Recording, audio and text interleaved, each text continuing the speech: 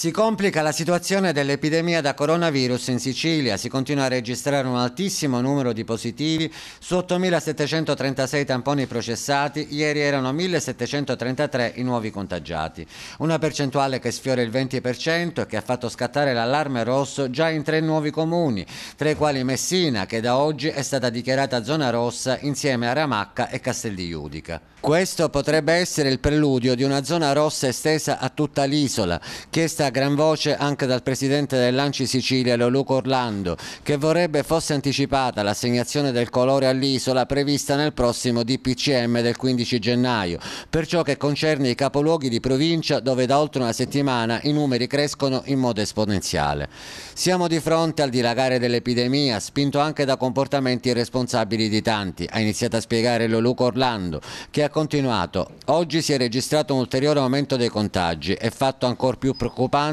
un indice di positività che sfiora il 20% con gli ospedali e pronto soccorso prossimi alla saturazione. Prima che sia troppo tardi, prima che si contino in Sicilia migliaia di morti, torno a chiedere al governo nazionale di dichiarare la nostra regione zona rossa, individuando le necessarie misure per sostenere economicamente chi sarà inevitabilmente danneggiato. In attesa che questo avvenga, chiedo al Presidente Musumeci di provvedere a dichiarare zone rosse tutti i capoluoghi, che sono quelli più esposti come dimostrano i dati di Catania, Messina, Palermo e Siracusa. Il dettaglio della curva epidemiologica in Sicilia ieri ha fatto registrare 8.736 tamponi processati con 1.733 nuovi positivi, un incremento nei ricoveri ordinari nei reparti Covid di 12 unità, un numero che porta a 1.473 i degenti a causa dell'epidemia, dei quali 208 in terapia intensiva, numero che ha visto un aumento di ulteriori 3 unità, 33 i nuovi decessi in Sicilia e 592 i guariti.